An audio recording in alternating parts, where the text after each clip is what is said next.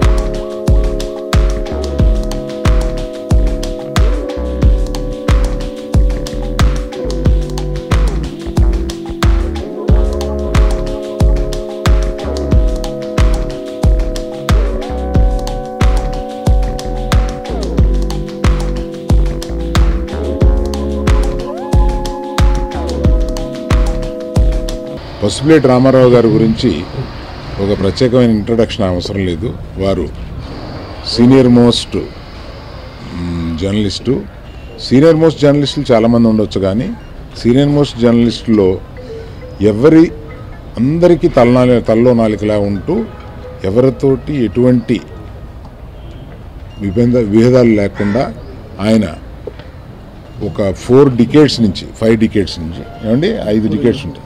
Four three నలభై ఐదు సంవత్సరాల నుంచి ఆయన జర్నలిస్ట్గా ఉంటూ ఈ ఇండస్ట్రీకి సేవ చేస్తూ ఉన్నారు. అటువంటి వారు మొన్న చిరంజీవి గారి నూట యాభై చిత్రం వస్తుందని ఒక బుక్ ప్రచురిద్దామని అనుకుంటున్నాను అంటే తప్పకుండా అలా చేయండి అని అన్నాను. దానికి ఏ ఫోటోగ్రాఫ్స్ అవి కావాలంటే అవి సమకూర్చడానికి సహాయపడ్డా. కానీ పుస్తకం చూస్తే ఎంత ఆశ్చర్యంగా ఉందంటే ఇన్ని కలర్ పేజెస్ ఇంత కలర్ఫుల్గా దీన్ని ఇలా వేస్తారని నేను ఊహించనే లేదు. చూడడానికి చాలా ఆశ్చర్యంగా ఉంది. దీనికి చాలా గట్టిగానే ఖర్చు అయి ఉంటుంది అనుకుంటాను. సో చిరంజీవి గారి సినీ ప్రస్థానం నుంచి ఈయన నేను పూర్తిగా చదవలేదు. బహుశా అన్ని కోణాలు ఈయన కవర్ చేసి ఉంటారని చెప్పి అని అనుకుంటున్నాను. ఇది యాక్చువల్గా మనం విజయవాడ గుంటూరు మధ్యలో జరిగిన మహాసభలో దీన్ని ప్రచుర మీన్ ఓపెన్ చేద్దామని అనుకున్నాము. కానీ అక్కడ ఉన్న ఆ రోజు ఒత్తిడిలో అది సాధ్యపడలేదు. అప్పటి నుంచి ప్రయత్నిస్తూ ఉన్నాము. సో ఈ సందర్భంగా ఆయనకి అభినందనలే కాకుండా మా కుటుంబం తరపున ఒక పుస్తకం ఇలా తీసుకురావడానికి ఈ ప్రయత్నానికి ఆయనకి మా కుటుంబం తరపున ధన్యవాదాలు తెలియజేస్తున్నాను. వారి గురించి కొత్తగా చెప్పాల్సింది ఏమీ లేదు. చెప్పాల్సింది ఏంటంటే అభిమానులు అందరూ చూడండి ఈ పుస్తకం ప్రతి వాళ్ళ చేతిలోనూ ఉంటుందని నేను భావిస్తున్నాను. థ్యాంక్ యూ పసుపులేటి రామారావు అంటే మన ఇండస్ట్రీలో అందరికీ ఎంత ప్రేమో తెలియాలంటే జస్ట్ ఈరోజు వచ్చిన పాత్రికేయ మిత్రులందరినీ చూస్తే అర్థమవుతుంది. ఆయన ఆయన ఎంత కావలసిన వాడు అందరికీ అని. రామారావు గారికి చిరంజీవి గారు అంటే ఎంత అభిమానమో చిరంజీవి గారికి కూడా రామారావు గారు అంటే అంత అంత అభిమానం. ఒకటి రెండు సందర్భాల్లో రామారావు గురించి ఆయన చెప్తూ ఆయన బాబు బర్త్డే ఫంక్షన్కి అనుకుంటా ఆ, వెళ్ళాను అది ఇది అని చెప్పి ఆయన చెప్పడం జరిగింది చిరంజీవి గారు. చాలా అద్భుతంగా ఉంది ఈ పుస్తకం. నేను అనుకోలేదు అసలే. ఒకసారి ఈ తిరిగేస్తుంటే ఆ సినిమాలు ఆ స్టిల్స్ అవన్నీ చూస్తుంటే ఒకసారి మళ్ళీ టెన్త్ క్లాస్ ఇంటర్మీడియట్కి వెళ్ళి ఎలా అయితే చిరంజీవి గారి సినిమాలకు వెళ్ళామో అప్పుడు మేము చూసిన స్టిల్స్ అన్నీ మళ్ళీ దీంట్లో చూస్తుంటే ఎలా ఉందంటే వెనకెళ్ళి ట్రావెల్ చేసినట్టుంది థ్యాంక్ యూ రామారావు గారు చిరంజీవి గారి అభిమానులు అందరూ కూడా ఈ బుక్లో ఈ స్టిల్స్ చూస్తే సరదాగా ఆ సినిమాకి వెళ్ళినప్పుడు మనకు జరిగిన సంఘటనలు మనం ఆ స్టిల్ చూసినప్పుడు చేసిన అల్లరి ఇవన్నీ గుర్తొస్తాయి. అంత బాగుంది పుస్తకం. ఆయన రాసిన ఈ పుస్తకంలో మెగా అంటే చిరంజీవి చిరంజీవి అంటే స్వయం కృషి. ఈ ఒక్క పదం చాలు. చిరంజీవి గారు. సరే అదొక పెద్ద అవార్డు. నిజంగా ఆయనతో ట్రావెల్ చేశాడు కాబట్టి ఆయన ఆ పదం రాయగలిగారు ఆయన. Hats off sir thank you Pasupuleti Ramarao గారు. నేను అసిస్టెంట్ డైరెక్టర్గా మా అన్నయ్య మెగాస్టార్ చిరంజీవి గారు కోతల రాయుడు మూడు కావాలప్పుడు ఆయన మాకు పిఆర్ఓ అప్పటి నుంచి ఇప్పటి వరకు ఆయన కృషి పట్టుదల సిన్సియారిటీ రియల్గా ఈరోజు ఇక్కడ ఉండే అందరూ జర్నలిస్టుల కంటే సీనియర్ జర్నలిస్టు. ఆయన అంటే ప్రతి ఒక్కరూ ముందు గౌరవిస్తారు. అలాగే గౌరవానికి మారుపేరైనటువంటి మెగాస్టార్ చిరంజీవి గారి బుక్ని పసుపులేటి రామారావు గారు తీసుకురావటం. ఇందాక అరవింద్ గారు చెప్పినట్టు ఈ మధ్యకాలంలో చాలా బుక్లు వచ్చినా ఏ బుక్లో కూడా ఇన్ని కలర్ పేజీలు ఇన్ని డీటెయిల్స్ ఉండేటటువంటి ఇవి చూడలేదు. ఇందాక మన వాళ్ళు అన్నట్టు బాస్ ఈజ్ బ్యాక్ అన్నారు. కాదు. Boss is boss any time any year. అలాగే ఈ బుక్ కూడా ఇలాంటి పుస్తకాలు జీవిత చరిత్ర పుస్తక పుస్తకాల్లో నంబర్ వన్ బాస్గా ఉండాలని చెప్పి మనస్ఫూర్తిగా కోరుకుంటూ ఈ పుస్తకాన్ని ప్రతి అభిమాని చదవాలని చెప్పి ఆకాంక్షిస్తున్నాను. Thank you thank you. ఈ పుస్తకం తీసుకురావడానికి కేవలం ఇరవై ఐదు రోజుల్లో తీసుకురావడం జరిగింది. అంటే నేను టీ కృష్ణ గారి పుస్తకాన్ని సార్కి అరవింద్ గారికి ఇవ్వడానికి వెళ్ళాను. రామారావు బాగుందాయా చాలా బాగుందాయా ఎప్పుడు ఎలా తీసుకొచ్చావు ఏంటి అంతా అడిగారు. సరే ఇలాగ అప్పుడు అన్నాను. సార్ సార్ అది నూట యాభై వస్తుంది కదా ఈ సందర్భంగా ఆ పుస్తకం కూడా తీసుకొద్దాం అనుకున్నాను చిరంజీవి గారి మీద. అన్నాను అయ్యో తప్పకుండా తీసుకురా నా సహకారం ఉంటుంది నీకు. నేను నీకు ఏ సహకారం చేయాలన్నారు. ఏం లేదు సార్ మీరు ఒక ఇంటర్వ్యూ ఇస్తే చాలు. మీ ఇంటర్వ్యూలు ఎప్పుడు ఎవరు చదివి ఉండరు ఎవరికి మీరు ఇంటర్వ్యూలు ఎవరు నాకు మాత్రం దయచేసి ఒక ఇంటర్వ్యూ నాకు ఏం అవసరం లేదు నేను అప్పుడు సార్ ఇమీడియట్గా అయితే క్వశ్చన్స్ తీసిరా నేను షెడ్యూల్ ఇస్తాను అన్నారు. కానీ క్వశ్చన్ ఇచ్చా వారం రోజులకే ఆయన చక్కగా నీట్గా రాసి దాన్ని టైప్ చేయించి నా అది నిజంగా అది నా ఫస్ట్ అచీవ్మెంట్ అనమాట తర్వాత చిరంజీవి గారి దగ్గరికి వెళ్ళాను. సార్ అంటే అంతకుముందు రెండు మూడు రోజులు ట్రై చేస్తే నాకు వారు షూటింగ్ పిచ్చి వల్ల చిరంజీవి గారు దొరకలేదు. తర్వాత చిరంజీవి గారు కలిశాను. ఏంటి రామారావు అన్నారు నేను సురేష్ కొండేటి గారు వెళ్ళాము. ఏంటి రామారావు అంటే ఇలాగ పుస్తకం అనుకుంటున్నాను సార్ నేను. ఆల్రెడీ చిరంజీవి అరుణ్ గారితో చెప్పానండి. Very good. అయితే ఒకటి నేను మాత్రం ఆవిష్కరణ రాలేను. నా పుస్తకం కదా నా పుస్తకం నేను రావడం బాగుండదు. అంచేత నేను బాబు వస్తారు మనం బన్నీ వస్తారు వాళ్ళు వస్తారులే నీకు అన్నారు. సరే ఇంకేంటి ఇంకా నా నుండి నీకేం కావాలన్నారు? ఏమవుతుంది సార్ నాకు నా పుస్తకానికి ప్రత్యేకంగా ఒక ఇంటర్వ్యూ ఇవ్వండి. నాకు ఇంకేమొద్దండి నా పుస్తకం మాత్రం ఒకటి స్పష్టంగా వింటాను అలాగే తప్పనిసరిగా ఇస్తాను. క్వశ్చన్స్ పంపించు నేను రాసి ఇచ్చేస్తాను నీకు. అన్నట్టుగానే ఆయన మూడో రోజుకే క్వశ్చన్స్ రాసి పంపించారు. అలాగే అరవింద్ గారి ఇంటర్వ్యూ రావటం చిరంజీవి గారి ఇంటర్వ్యూ రావటం ఈ రెండు నాకు ఫస్ట్ అచీవ్మెంట్గానే భావిస్తున్నాను. అలాగే దాసరి గారు గురువు గారు దాసనారాయణ గారు కూడా ఆయన ఇంతవరకు రాయని విధంగా ఒక ఆర్టికల్ బ్రహ్మాండమైన ఆర్టికల్ లాగా చిరంజీవి గారి మీద ఆర్టికల్ కావాలి సార్ అంటే అడిగానే నా మాట కాదనుకోనికి చాలా బ్రహ్మాండమైన ఆర్టికల్ రాసిచ్చారు. ఈ మూడు ఆర్టికల్స్ రాసు పుస్తకానికి చాలా హైలైట్గా భావిస్తున్నాను. అలాగే ఇంకొక అలాగే అరవింద్ గారు నాకు ఈ మా నైతికంగాను అన్ని విధాలుగాను. సాధారణంగా అరవింద్ గారు పట్టుకోవటం అనేది చిరంజీవి గారు ఇప్పుడు సరదాగా నాతో అన్నారు. ఏమయ్యా అరవింద్ గారు ఆయనకు అవసరమైతే నాకు ఫోన్ చేస్తారు తప్ప మనం చేసి దొరకరయ్యా అన్నారు సరదాగా ఎప్పుడు. చాలా రోజులకి సరదాగా అన్నారు.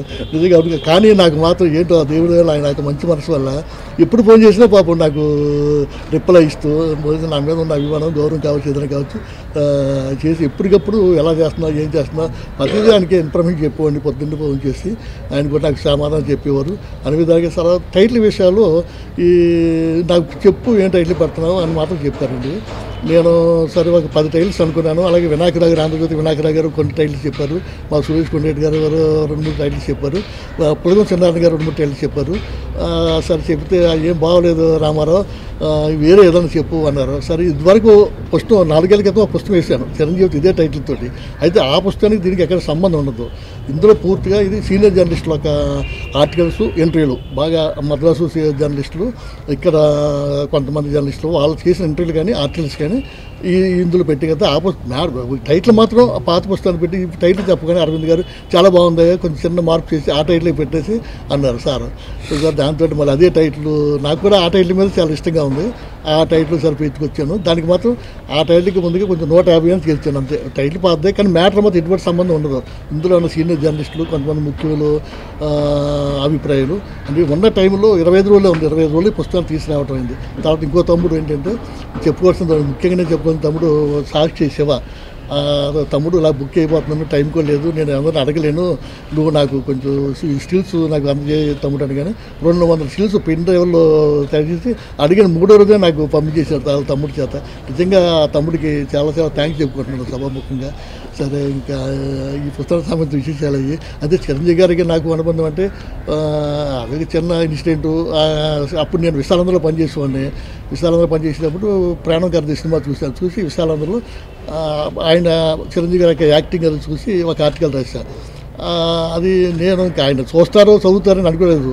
కానీ నేను ఆంధ్ర క్లబ్లో మాత్రం ఆంధ్ర క్లబ్లో టిఫిన్ చేసి వస్తుంటే చిరంజీవి గారు కూడా టిఫిన్ చేయడానికి ఆంధ్ర క్లబ్కి వస్తున్నారు. సార్ మీరేనా పసుపెట్టి రామారావు అన్నారు. అవునండి అన్నాను. అలాగే విశాలందరూ మీరు రాసిన ఆర్టికల్ చదివాను. చాలా బాగుంది. రెండు మళ్ళీ టిఫిన్ చేద్దామని లాడ తీసుకెళ్ళి అది అక్కడి నుంచి తర్వాత విశాలందరూ ఆంధ్రజ్యోతికి వెళ్ళటం జ్యోతిలో పనిచేయటం. అప్పటి నుంచి ఆ ఫస్ట్ ఇంటర్వ్యూ దగ్గర నుంచి అక్కడి నుంచి ఆంధ్రజ్యోతిలో జ్యోతిలో అలా పరిచయం కానీ ఏదైనా కానీ అలా కొనసాగుతూ వచ్చింది ఇప్పటి వరకు. కొనసాగుతుంది బహుశా అంటే నేను అంతగా ఆయన రెండోసారి కూడా పుస్తకం తీసుకురావడానికి ఏంటని ఎవరు మన మిత్రుడు అన్నారు. కానీ కారణం ఏంటంటే ఆయన యొక్క స్వయం కృషిని కళ్ళారు చూసిన వ్యక్తిని నేను. ఆయన ఎంత కష్టపడతారు? ఆయన డైనమిక్ హీరో లేకపోతే సుప్రీం హీరో అని అలాగే ఎదుగుతారు. ఆ టైంలో కూడా ఆయన ఫైట్స్ కానీ డ్యాన్స్ డ్యాన్సులు కానీ రంగరాజపురం ఫైట్స్కి వెళ్ళేవారు. డ్యాన్స్ మాస్టర్ సలీం మాస్టర్ గారి గారికి రిహార్సల్కి డ్యాన్స్కి రిహార్సల్కి వెళ్ళేవారు. అంతగా కష్టపడేవారు. ఈ రోజులు మనకి ఎవరు కనిపించదు అనుకోండి. అలాగే ఇంకో గొప్ప విషయం ఏంటంటే మా తమ్ముడు రాశారు కానీ ఆర్టికల్ నేను పెట్టలేకపోయాను. ఎవరైనా మంచి ఆర్టికల్ రాస్తే ఇమీడియట్గా ఫోన్ చేసి నా నలభై ఐదు వేల కెరీర్లో నేను ఎవరిని చూడలేదు. ఏ హీరో ఎంతోమంది రాసి ఉంటాం ఎవరిని చూడలేదు. ఆయన ఇమీడియట్గా ఫోన్ చేసి ఆ జర్నలిస్ట్కి ఫో ఫోన్ నెంబర్ తీసుకుని పర్సనల్గా ఆయన ఫోన్ చేసి చాలా బాగా రాస్తావు ప్రభు లేకపోతే రామారావు లేకపోతే సురేష్ అంటూ ఆయన పర్సనల్గా ఫోన్ చేస్తారు అనమాట అలాగే తమ్ముడు చాలా అందుకున్నారు నేను అందుకున్నాను. అలాగే గోటెడ్డి మోహన్ గారు అలాగే ప్రభు ఇక అంతమంది అంతమంది కూడా ఇలాగ ఫోన్ కాల్స్ సిద్ధి గారి నుండి అందుకున్న వాళ్ళే. బహుశా నాకు ఇలాగ ఒక ఏవిఎం శరవణ గారు అలాగే ఏదన్నా బుక్లో వస్తే వాళ్ళ సినిమాల గురించి తమిళ సినిమాల గురించి ఆయన అలా ఫోన్ చేసి లెటర్ రాసి పంపించేవారు. ఏవిఎం శరణ్ శరణ గారు తర్వాత వాళ్ళు తెలిసి సమయంలో ఒక చిరంజీవి గారు చూశాను. ఇప్పటికీ చిరంజీవి గారికి అందరూ తెలిసిందే మన మిత్రులందరికీ పరస్సు ప్రెస్ వాళ్ళ ఎంతో గౌరవం ఆయనకి. ఆ, అది- ఆ అనుభవంతో మళ్ళీ నేను స్వయంగా ఇందాక మన అరుణ్ గారు అన్నట్టుగా మన కళ్యాణ్ గారు అన్నట్టుగా ఆయన స్వయం కృషిని కానీ ఆయన పట్టుదలను కానీ ఆయన కష్ట కష్టపడే తత్వాన్ని కానీ చూసి ఎరిగిన పని కనుక రెండోసారి కూడా రాయడానికి నేను సాధించాను. అది నేను ఎంతో హ్యాపీగా ఫీల్ అవుతుంది పుస్తకం రాసినందుకు. అంతే నా ప్రాథమించిన మించిన వస్తువు ఆయన కానీ ఖచ్చితంగా అంటే దీనికి ఎంత కలపలుగా తీసినాడు కానీ ఏంటంటే అరవింద్ గారు ఫస్ట్ పుస్తకం రాసినప్పుడు రామారావు చాలా కష్టపడ్డావు చాలా మాటలు అవి ఉన్నాయి. కానీ నాకు కొంచెం కలపలుగా ఉంటే బాగుండు కదా అని మాట అది అది మనసులో పట్టింది అసలు నిజమే నిజంగా మెగాస్టార్ బుక్ చేసినప్పుడు ఎంత కలర్ఫుల్గా ఎంత కాస్ట్లీగా అందంగా ఉంటారు కదా. సరే ఏదో అయిందని మొత్తం మీద అప్పుడు మొత్తం దాదాపు మొత్తం పుస్తకాలు కలర్ఫుల్ తీసుకొద్దాను కాదు కానీ నాకు బడ్జెట్ కానీ భయం వేసి సరే మాకు నూట ఇరవై పేజీల వరకు కలర్ తీసుకొచ్చానండి. రెండు వందల రెండు వందల పదహారు పేజీలు బ్లాక్ అండ్ తీసుకున్నాను మొత్తం మూడు వందల నలభై పేజీలు. బహుశా ఇంత పుస్తకాన్ని ఎవరు తీసుకొచ్చుకుంటారు? అది ఎంతో హ్యాపీగా ఫీల్ అవుతున్నాను మరొకసారి చంద్రబాబు గారు వచ్చారు. వారికి చాలా ఆనందంగా ఉంది. అలాగే కళ్యాణ్ గారు వచ్చారు. ముఖ్యంగా మా అరవింద్ గారికి మరీ మరీ మరీ చాలా థ్యాంక్స్ అందరు నమస్కారం. బహుశా రామారావు గారి వయస్సు మా నాన్నగారి కన్నా చాలా పెద్ద ఆయన. ఆయన ఎక్స్పీరియన్స్ ఒక నలభై సంవత్సరాలు మించి ఉంది. నా వయసు కానీ నా ఎక్స్పీరియన్స్ కానీ ఆయన ముందు లేదా ఆయన పక్కన కూర్చుని ఆయన గురించి మాట్లాడే అంత ఇది లేదు నాకు. బట్ ఆయన పేరు చెప్పగానే అరుణ్ గారు నేను ఖచ్చితంగా వస్తాను అని చెప్పి వచ్చాను. కేవలం ఆయన ఒక ఇన్స్పైరింగ్ పర్సనాలిటీ మా నాన్నగారి గురించి ఇలా రాయడం అనేది నిజంగా మా ఫ్యాన్స్ అందరూ తిరిగి వినయ్ గారు చెప్పినట్టు ఆ రోజులు కానీ అవన్నీ గుర్తు తెచ్చుకుంటారు. బట్ ఇన్స్పిరేషన్ uh, అంటే ఒక ఫీల్డ్లో నంబర్ వన్ అవ్వడం ఎలాగా లేకపోతే అయ్యే వాళ్ళని చూసి అందరూ ఎలాగైనా ఇన్స్పైర్ అవ్వచ్చు. ప్రతి ఫీల్డ్లో ఒక నెంబర్ వన్ వ్యక్తి ఉంటాడు. అలాగే నాకు తెలిసి ఆంధ్రప్రదేశ్ తెలంగాణలో నెంబర్ వన్ జర్నలిస్ట్ ఎవరంటే అది పసుపేటి రామారావు గారి పేరే చెప్పారు. అది నేను ఎప్పుడో చిన్నప్పుడు మెడ్రాస్ నుంచి హైదరాబాద్కి వచ్చిన తర్వాత ఫస్ట్ పేర్లు అసలు జర్నలిస్టుల పేర్లు వినేటప్పుడు ప్రభు గారిది దాని తర్వాత నా ఊహ వచ్చిన తర్వాత ప్రభు గారిది సురేష్ దాని తర్వాత రామారావు గారి పేర్లే విన్నాను అండ్ వాళ్ళిద్దరూ మాట్లాడే వ్యక్తి రామారావు గారి గురించి. సో ఆయన ఆయన ఫీల్డ్లో నంబర్ వన్ ఎలా అయ్యారు అనేది వాళ్ళ అరవింద్ గారు చెప్పినట్టు కనిపిస్తుంది వాళ్ళ అందరు జర్నలిస్టులు.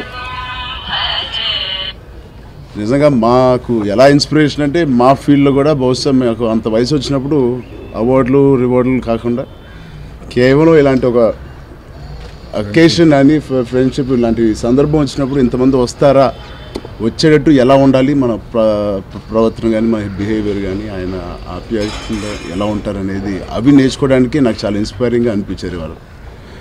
సో రామారావు గారు ఇవాళ మీరు నాన్నగారి గురించి మళ్ళీ రాయడం అనేది మొన్న ఆ ఫంక్షన్ కూడా నేను వచ్చాను. అండ్ నాగేశ్వర గారితో చేశారు. వాళ్ళు మళ్ళీ బ్యూటిఫుల్గా ఉన్నాయండి పిక్చర్స్ అన్ని.